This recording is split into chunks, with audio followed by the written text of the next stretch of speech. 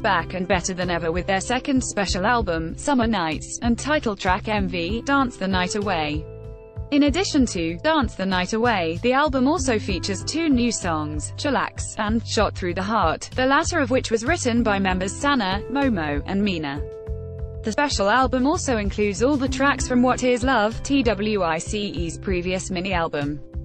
Instead of a showcase, Twice is holding a special live broadcast for fans to celebrate their comeback.